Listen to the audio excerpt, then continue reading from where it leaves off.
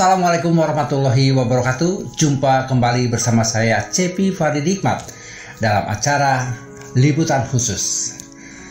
Sahabat Siliwangi 1922, hari ini kita coba bahas berkaitan dengan Hari Kebangkitan Nasional 20 Mei tahun 2023 dengan uh, mengaitkan situasi dan juga kondisi saat ini.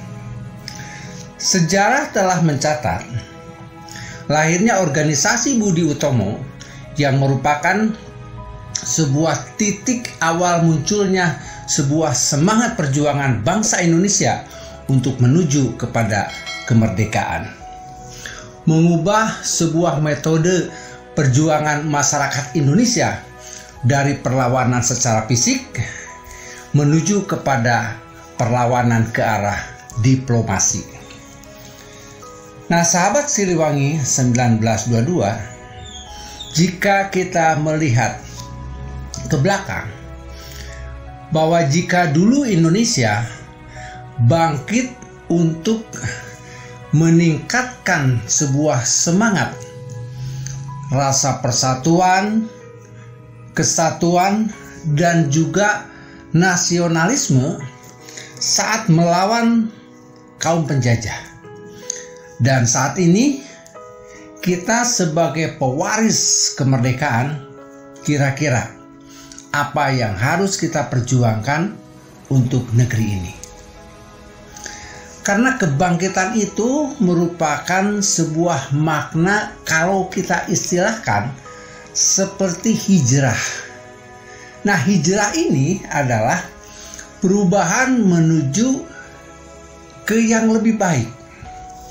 Untuk bisa melangkah lebih baik daripada hari kemarin dan juga tentunya hari esok harus bisa lebih baik daripada hari ini. Itulah maknanya dari sebuah kebangkitan kalau kita istilahkan dengan hijrah. Nah, sahabat Ciliwangi 1922 ada sepenggal kalimat yang kalimat itu mudah dan biasa disampaikan. Tapi makna daripada sepenggal kalimat itu sangat sulit kalau kita aplikasikan. Jika ada jikanya nih. Kita masih terjebak pada hal-hal yang bersifat seremonial semata atau sepenggal kalimat itu hanya sebagai slogan semata. Nah, seperti eh, hal-hal yang menyatakan kalimat ini, contohnya seperti begini: sudah saatnya, sudah waktunya, sekarang kita bangkit untuk bersatu melawan hal-hal yang bisa melemahkan persatuan dan kesatuan bangsa ini. Nah, seperti begitu. Tapi mudah-mudahan bisa terjawab pada hari ini melalui semangat daripada kebangkitan nasional. Sahabat Siliwangi 1922, penetapan Hari Kebangkitan Nasional mengacu pada berdirinya organisasi Budi Utomo yakni pada tanggal 20 Mei tahun 1908. Budi Utomo merupakan sebuah organisasi yang bergerak di bidang sosial, di bidang ekonomi, di bidang kebudayaan. Namun organisasi ini tidak bersifat politik organisasi Budi Utomo mempelopori sebuah perjuangan dengan memanfaatkan sebuah pikiran yang bersifat kedaerahan menjadi nasional untuk bisa mencapai kemerdekaan Indonesia yang berkeadilan sosial bagi seluruh rakyat Indonesia. Itu poinnya. Sahabat Siliwangi 1922, jadi jelas di sini bahwa kebangkitan nasional merupakan titik awal bagi bangsa Indonesia untuk bangkit dan memiliki jiwa nasionalisme. Rasa persatuan, rasa kesatuan. Selain itu, kebangkitan nasional juga merupakan sebuah langkah awal untuk rakyat Indonesia untuk bisa memiliki keadaan agar mampu memperjuangkan Indonesia yang lebih baik. Sahabat Siliwangi 1922, semangat dari Hari Kebangkitan Nasional pada tahun ini ini harus ada dampak positifnya yang dapat dirasakan oleh seluruh lapisan warga negara Indonesia pada masa sekarang ini. Seperti tumbuhnya nilai-nilai demokrasi, sikap nasionalisme, serta patriotisme. Di sini yang perlu kita tanyakan, sudahkah dampak itu kita rasakan? Nah, silakan sahabat Siliwangi 1922 yang bisa menilai masing-masing.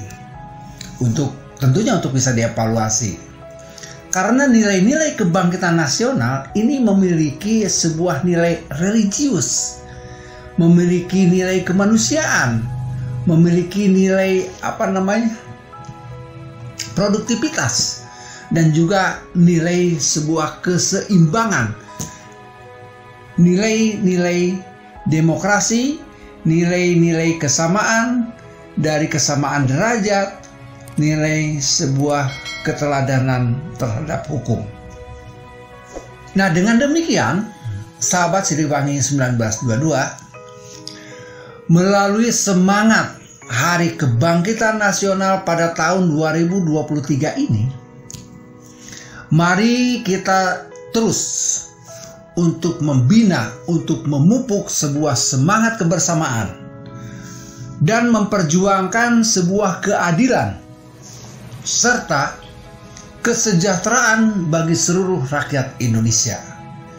Kita sebagai pewaris daripada kemerdekaan ini, mari kita jaga sebuah nilai semangat perjuangan dari para pahlawan bangsa yang telah memperjuangkan kemerdekaan ini dengan tidak mudah, dengan darah dan air mata.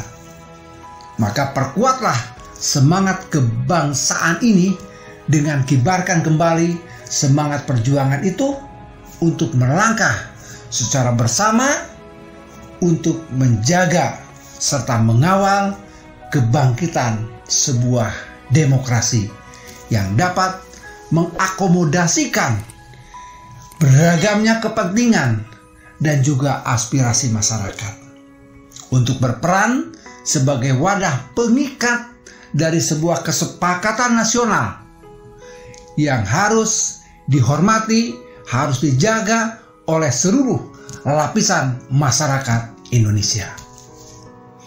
Dan akhirnya, sahabat Siliwangi 1922, mari kita kawal nilai-nilai demokrasi saat nanti pelaksanaan pemilihan umum tahun 2024 agar bisa pesta demokrasi itu berjalan secara demokratis, di mana segenap warga negara Indonesia dapat menyalurkan pilihannya secara langsung, umum, eh, bebas, rahasia,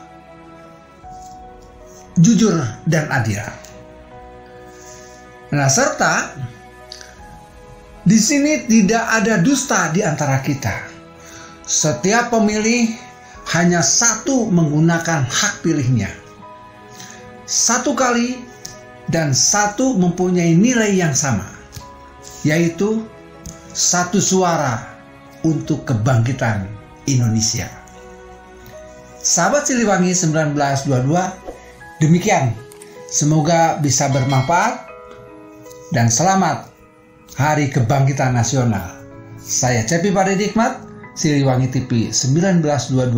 Assalamualaikum warahmatullahi wabarakatuh.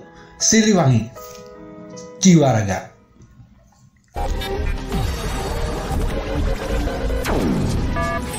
Satu sembilan dua dua pejuang Siliwangi Satu untuk semua, semua untuk perjuangan. Pejuang, pejuang, siliwang, pejuang, pejuang, siliwang.